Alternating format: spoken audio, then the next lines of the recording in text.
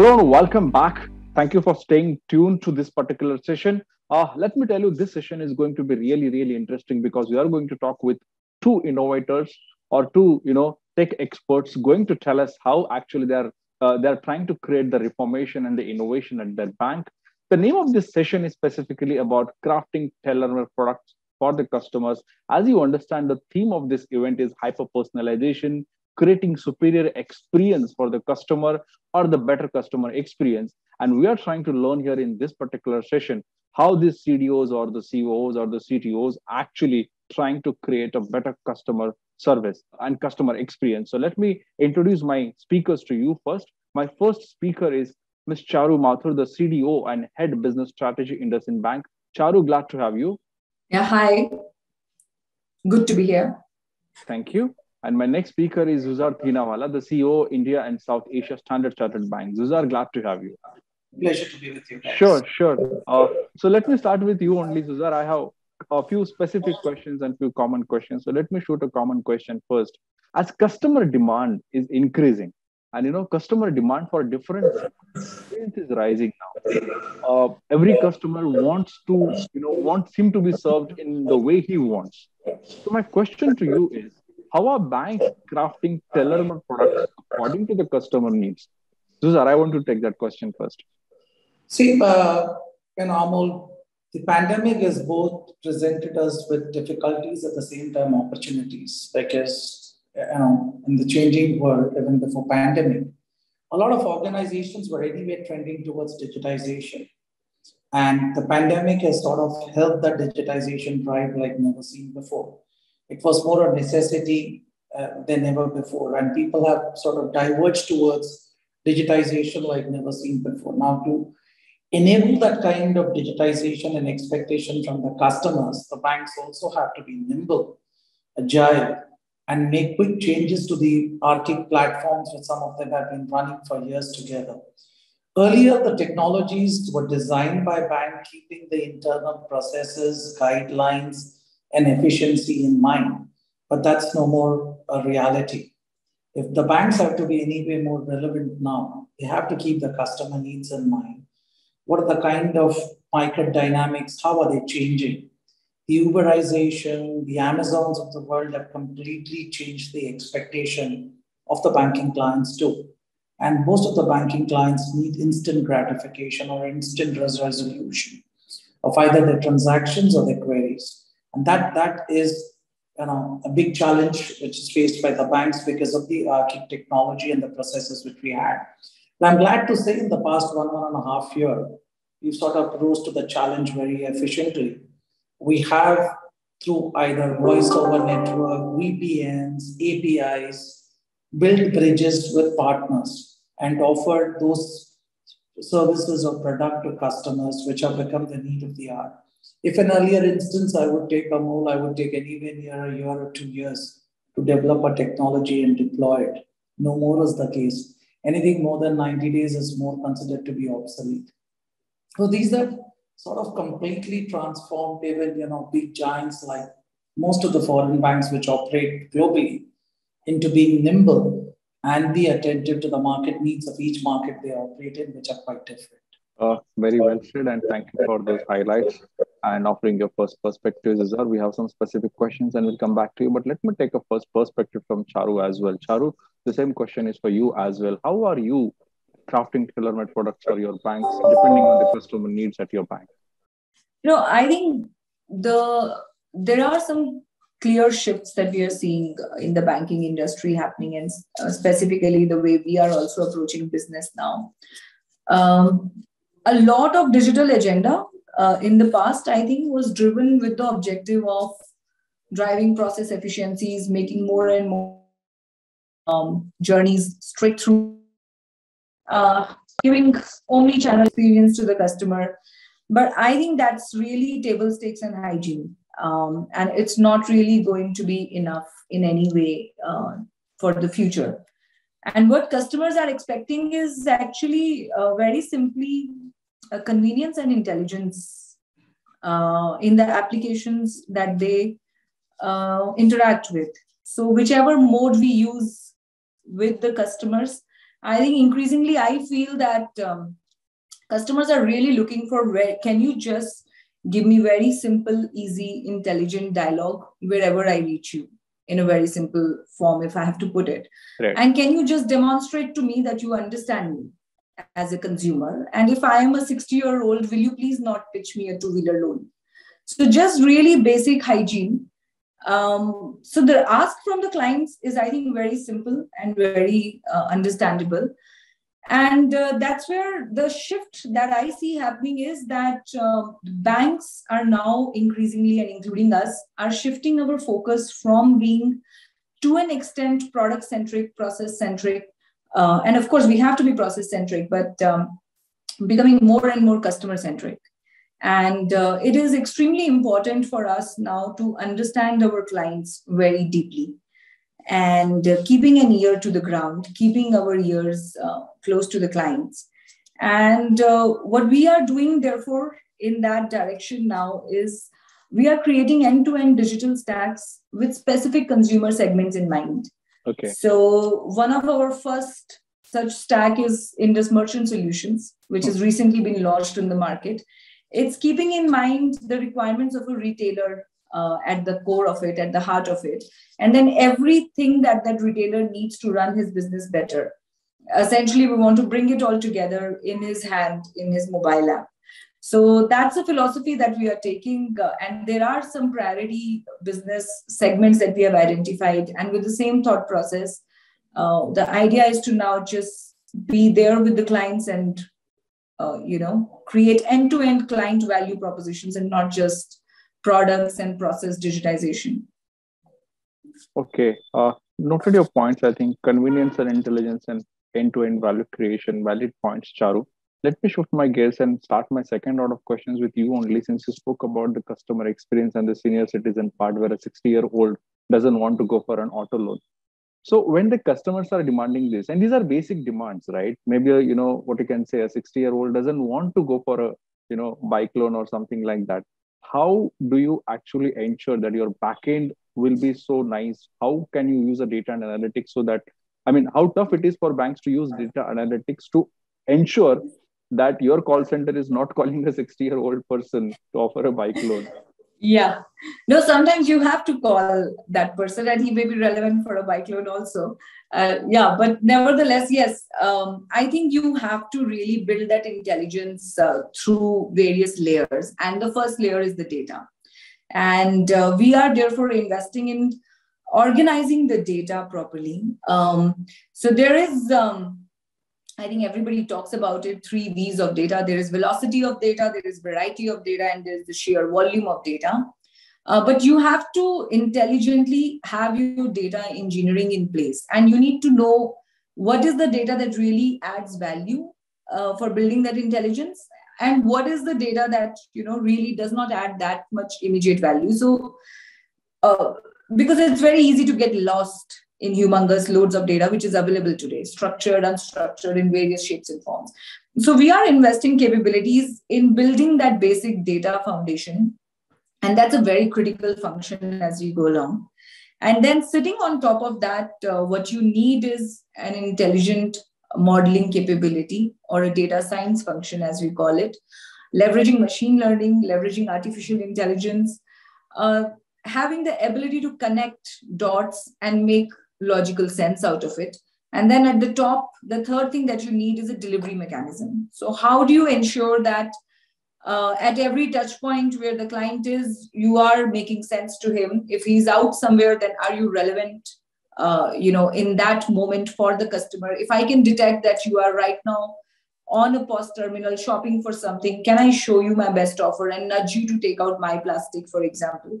And so those are the type of applications that we have to think through and then uh, reverse work and get the data and analytics and the engagement piece in order from those business objectives. So I, I think, in my view, it's good to start with the business objective and then you know work backwards and have everything towards delivering that.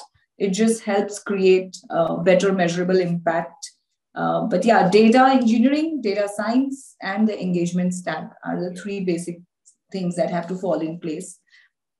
Right. Uh, noted your points. And uh, let me bring back Zuzar here. And Zuzar, I would like you also to tell us what kinds of changes banks have to go through at the backend processes to do all this, crafting dedicated products to the customers and serve him the way he wants. The changes which the bank has to do is very simple, and that is towards leverage the data. Banks have traditionally been holding a lot of data, enriched data about customer behavior, customer patterns, patterns of transactions, uh, which can which have so far been you know present in the bank system. But nowhere has in the past efforts been concentrated efforts been made to sort of leverage this whole humongous data and find out patterns or consumer behaviors emerging from these humongous sort of data. So the next trend, which has already started in a very big way, as uh, Charu rightly mentioned, is the data analytics or data science, which the banks are now deploying. And initially, it started with a very internal focus of identifying frauds or AML patterns, because the system can pick up similar type of patterns, buyer, seller, similar amounts, same patterns with the country, etc and highlight areas of potential frauds or AML risk. This is how it all started, but now it's more maturing into predicting customer behavior, how a customer would behave when he enters into a mall, what is his level of interest, which product he actually buys, which brand does he prefer. And in, in you know, keeping all that data in mind, can I give him a real-time offer? It could be you know physical offer, it could be online, whether the person is on Amazon or anywhere else. If we can, if we have observed the pattern and you know we can leverage that pattern, there's a huge upside in terms of how the bank designs this product and how it offers it to its customers to make it more relevant and in return get more revenue out of those products. So, so I copy the points that you mentioned, but could you just tell us how accurate is your data? because all the decision making today when you want to offer this you know refined customer service and refined customer products to the customers everything is dependent on the data so how accurate is your data in decision making Amol, the data is very accurate and it, it, the accuracy of the data will throw you up patterns and suggestions. But however, decision making is something the humans will have to take based on those patterns or those suggestions emerging from the data which is collated over a period of time. And this, believe me, has been a boon because if any decision I had to take before, I had to, many a times it was a decision by cuts or you know weeks of hard work by two or three people churning out data and preparing a PPT or an Excel spreadsheet and coming to the conclusions. But machine, by the virtue of machine learning, AI are now able to click this, you know, generate this kind of information at a click of a data. But what it does is it brings you or it gives you the data points. It doesn't take a decision on your behalf. At the end of it, what is right for the organization, what is going to be appropriate, there has to be still a human decision. That's why they say that however much the AI will progress, it will never replace the human intelligence. Okay, noted your points. And I will I will take this conversation forward with Charu. I have a very important question for you. Uh, when I look at the applications of the banks, you know, mobile apps, which I'm talking about, it is offering like plethora of services. You can buy insurance, open FD, do so many things. So these are the best services. But when it comes to communication, still the chatbots, the RPAs, these are the, you know, I, I won't say these are traditional, but these are the common ways that the banks are still using. So what is the way of better communication? Because maybe you will have to deal with a 60 year old differently than a 20 year old differently. So what kind of you know infrastructure are you building to cater to the customers in a different manner? I think uh, we have seen a very remarkable uh, shift per se. And um, people are taking to uh, various channels uh, you know with ease. So of course there is a lot of um, a lot of transactions that a client can do through the mobile app uh, but I, I do think that chat is very powerful. And uh, especially if you look at something like a WhatsApp, um, it cuts across segments. Uh, whether you're running a business, uh, whether you are an NRI, or whether you are an HNI, I have seen uh, something like that speak across segments very much with ease and then so it's it depends on the client segment that you're catering to so we are a, so for example we are a very diverse set of clients within the bank so we have a whole um, Bharat Financial, which is at the bottom of the pyramid, which is part of the bank. Uh, we also cater to non-residents, HNIs. We are, of course, uh, heavily focused on business owners and SMEs as a, as a bank. So we have seen that different things uh, work for different clients. Uh, so language is an aspect and the mode of communication and channel of engagement is also an aspect so when we speak to a lot of clients which are at the bottom of pyramid or even in the business owner segment, at times the vernacular language plays a much um, you know definitely gives you a much better lift in engagement compared to what you may do in English. Uh, and of course, there are channels like WhatsApp uh, which permeate all segments with ease. And then there are channels which, of course, have uh, better reception in some specific uh, customer segments. So and that is exactly what increasingly is feeding back uh, into the data models. When we define uh, a data model and we say that this is a type of a customer where we believe this type of a product or this type of an engagement will be relevant. Uh, the other thing to ask is also what will be the best way to engage on this item with the customer and that's increasingly becoming very important uh, when we define our engagement strategy Okay. So, uh, noted your point, Zuzar, I'm sure you also come from not only a typical, uh, you're not only observing the Indian customers, but you also carry a background of a global banks, right? The problem is also this that till, you know, maybe till last 10 years, you know, the banking was absolutely different. And the kind of services that the bankers and the financial institutions started offering in last 10 years are absolutely remarkable and far more innovative which also giving a fillip to the customers to come with the different demands.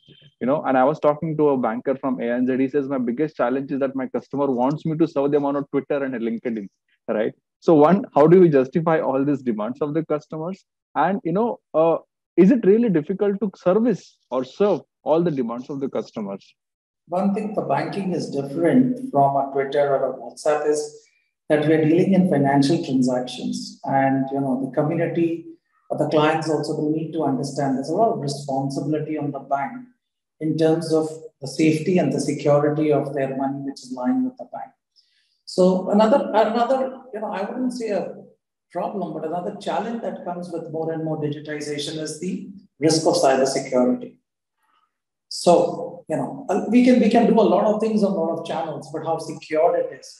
Because easily for you and me to chat on our platform is very simple. You know, we don't have to have the same level of security as you would need to have on a channel where you're doing your payments. And obviously, two are different things. So, yes, we need to get a good blend of the two. The customers today expect channels which are completely frictionless. At the same time, it cannot be as simple as a click of a button on a WhatsApp because there needs to be a lot of validation. There needs to be a lot of check in that need to be performed because we're dealing with financial transactions and not a mere chat. So, good, healthy balance of these two is, I would feel, uh, what a customer would be looking at. So, if you look at any online banking platform of the banks, now uh, banks are offering more and more predictive analysis to the customers in terms of the spend that the individual customers make. What is his budget for the month? How, is his, how does his overall spend sheet look like? These are the additional facilities the banks have started providing to the customers and you know, we've also started offering chat boxes, which are similar, somewhat similar to you know WhatsApp and others, but it's in an enclosed environment where the risk, the data is protected, and the safety and the security of the data is maintained. Mm-hmm. So yes, I, I do tend to agree that the expectation as well as the security aspects mm-hmm. both need to be balanced when we are offering such products mm-hmm. to the client.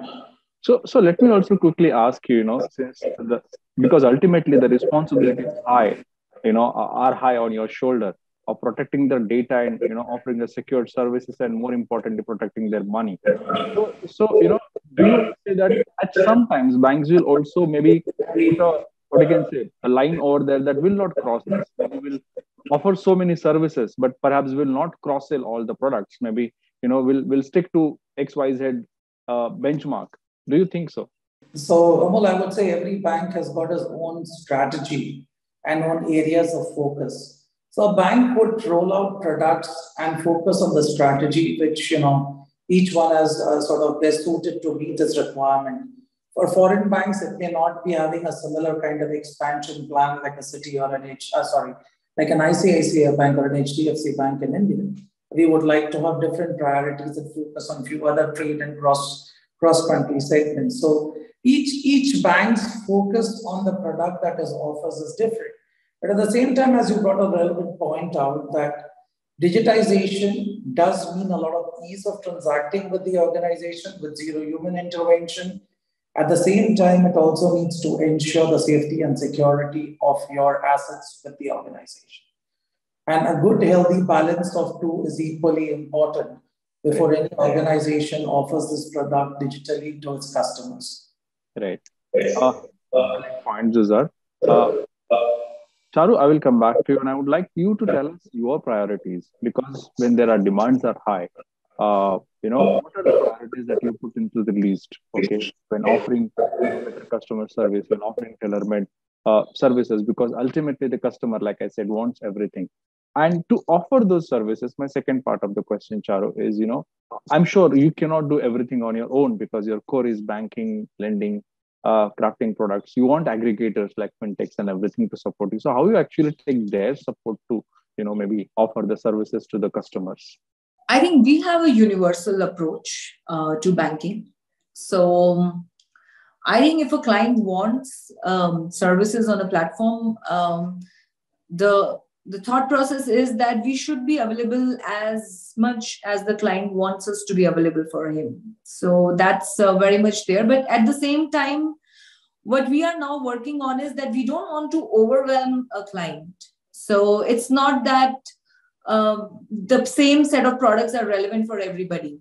So while you have a whole lot of products as a bank how do you ensure that it's not becoming an information overload, a product uh, overload for a customer. And as and when the customer matures through his life cycle, he can unlock the additional benefits that he wants to. Mm-hmm. If he's traveling abroad, he can look at a forex proposition. But it's we, so the idea now is how do you keep it simple at the core uh, for the client? and he will unlock as and when he wants to uh, whatever he wants in terms of products and uh, yeah the journeys have to be designed, the experience has to be designed with that objective. Okay. So that is something that we are cautiously working on across all our client facing platforms. Um, the second part of your question uh, was how do we look at collaborations? Uh, I think we are very, uh, very excited about the space uh, of collaborations. Uh, there is a lot of fintech players now. Um, while uh, it's a mixed bag, but there is quite a few which have created extremely exciting customer value propositions who have deeply tried to understand some consumer pain points and have genuinely tried to solve them very intelligently. And um, for us, uh, we bring our strengths to the table and we are uh, looking at uh, various uh, partners in the ecosystem who can bring complementing strengths to us so some of these complementing strengths are in the products that we may not want to do on our own. So let's say consumer finance or a very small ticket checkout financing as a product. Now we may not want to offer it directly uh, on our own. It requires a slightly different DNA and a skill set. And the other area where we are keenly looking at partners is if you can help me enrich the experience for my client. So if I have a small retailer and I am delivering a certain value proposition to that client could you bring something additional to me? It could be inventory management solutions logistics. So there is a bunch of players who have done uh, pretty good work and we are very proactively looking at uh, you know collaborating with some of these fintechs to enrich the value propositions as well as to complement our stack of products. Okay okay. So so going ahead do you also define a line that you know perhaps whatever the services that you want to offer to customers you know these 10 services which are hardcore services will be offered by the bank but for another 10 services we'll go ahead with the fintechs. Is that the strategy? Um, it's not like a hard line. I wouldn't say it's like a very rigid line. Hmm. uh, but it's a constantly evolving thing. But yes uh, within the realm of banking and financial services we may extend and go deeper and make our proposition a little more enriched directly as well. And then, of course, uh, there is a bunch of value added services which are not technically banking, but we believe they help enrich consumer engagement with us. Because like when a customer is thinking of a car loan he's not just thinking of a car loan right? He's thinking of purchasing a car. Yes. So how do i solve everything that is going on in his mind when he's making a purchase decision of a car so if i restrict myself to thinking about loan then you know could I just offer him everything that he's thinking about, be it his accessories or insurance or other aspects? So some of the non-financial aspects, we will, uh, you know, continue to have a collaboration into the ecosystem sort of a model for those, the value-added services which are not in the nature of financial services. Okay, okay. Uh, Zuzar, I will come back to you. I my quick or a straightforward question is, how do you measure the customer experience? How do you measure, okay, product that you develop or the service that you offered is enjoyed by the by the customer? It's a straightforward question because now banks like said, you know, they, they are helping customers not only in a car loan, but helping him choose a car, helping him choose a home for a home loan. How do you actually measure all this? So every bank, Amol, uh, has got an NPS score, Net Promoter Score, which uh, talks about how the customers, you know, review your product and services. And we get enriched information from our, from our customers during these surveys. And just to let you know, this is the first time we were just discussing yesterday sometime even the regulator, like an RBI, has come out with its own review of products and services offered by various banks to individual. And they've come out with their own scores and you know how they view as different banks offering services. So over and above each individual bank doing its own survey of net promoter scores, even the regulator has now started taking some interest in the level of services offered by each bank. So there are various tools and measures where we will do it. And it gives every organization very enriched information in terms of where we are doing more and where we need to do more. Okay. Charu, do you also want to add here? Because, you know, I, I know you don't come from a PSU bank, but generally there is a saying that if you go to a PSU bank, maybe you will have to cross at least four windows because every officer will ask you to go to a next window, right? So that's also one of the experience that people, you know, get at the branches. But how do you actually measure the happiness or the customer experience at uh, the mobile applications and all the digital services that you are you know implementing yeah no uh, you know i think it's very uh, so ne- there are formal mechanisms and there are metrics. Like uh, you know i spoke about uh, net promoter score which is a great metric to look at the client satisfaction. But i think i'll tell you the feedback is so constant and so open these days. So if you look at your mobile app it's out there in the public and the public is speaking about it and it is on the app store. So it is um, cons- there is just so much constant feedback mm. that we get on how we are doing uh, it's just for us to really pay serious attention to it and then keep on improving basis what clients are telling us. So there is a bunch of things that we measure. We look at how clients are rating us on various platforms. There is net promoter score surveys that are done. And now uh, since you mentioned this uh, we are very, very seriously looking at something called as first contact resolution. Can I just make sure that first contact is a resolved uh, thing for the client? And how do I enable my entire frontline, be it in a contact center or in a branch, uh, digitally so much that uh, you really don't have to make him go to another window? And because it's with technology, it's very easy to make some of the complicated things can be made very easy that anybody can do them. I'm done with my basic questions. Let me come with the last question, which is again a follow up on the first question that I asked. And uh, uh, how do you actually see the banking in terms of services, in terms of products, maybe next three to five years? Because the kind of evolution happening in this space is remarkable, and we actually don't know what will happen.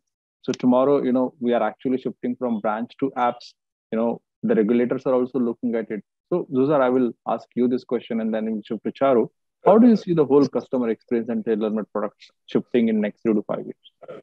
Amol, the way, and it's already headed, uh, next five to six years is a long term, I would see from the next two or three years. Yeah. What, what all the organizations are doing, including our own bank, is we're doing a lot of analytics on the queries and the customer interactions we have. Hmm. The queries are the way customers call you up, complaints or they have issues with the way we offer our products or services this becomes a rich source of information in terms of how to modify mm. and alter our products to reduce this friction which we have with the client. The whole idea is to have end to end client experience with minimal human interaction. And that journey is only going to be possible to a very large extent if you pay a lot of attention to the data that comes in. For an example, I'll give you, if we, we were receiving about 100 queries, I'm just giving you a very big example in a month. Sure. By, by analyzing those 100 queries, today we are able to automate almost 65% of those queries and we've provided that information proactively to the customers so they don't need to call you. This, what does this entail? It removes the friction between banking. You actually anticipate if you do trending of your queries of what the clients do need over and above the information which you're already providing. And by proactively providing that, mm-hmm. you, you, you are actually reducing his effort to call you up and seek those information from the bank. That's one. And what I personally feel is that the interaction between the client and the bank on mundane on mundane task will be almost minimal or zero. The interaction would be on much richer, you know, discussions like investments, like there are structured transactions which need to be done, and where guidance or consultancy from the bankers are required.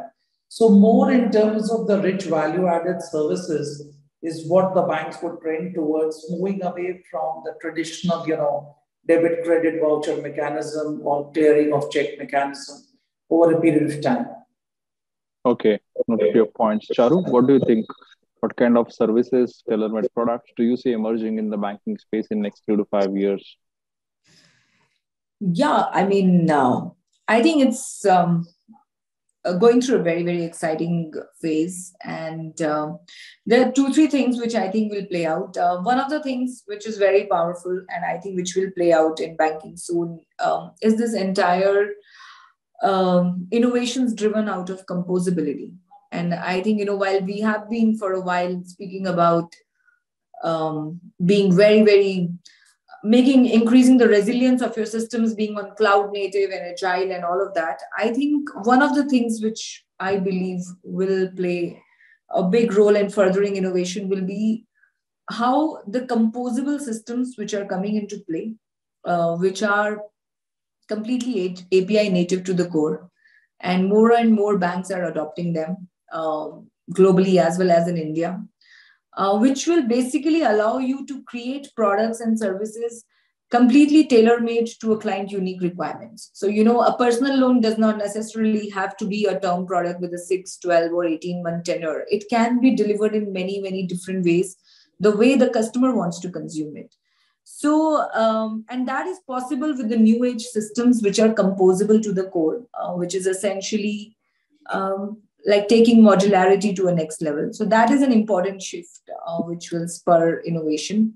The second thing is, of course, cloud. Um, I do see the power of cloud uh, unleashing uh, in terms of the client experience that we can provide. I think uh, the cloud strategy is going to play a very important role for us over next two three years. And uh, the third thing, which I feel um, will play a major role uh, in driving customer experience is the personalization aspect.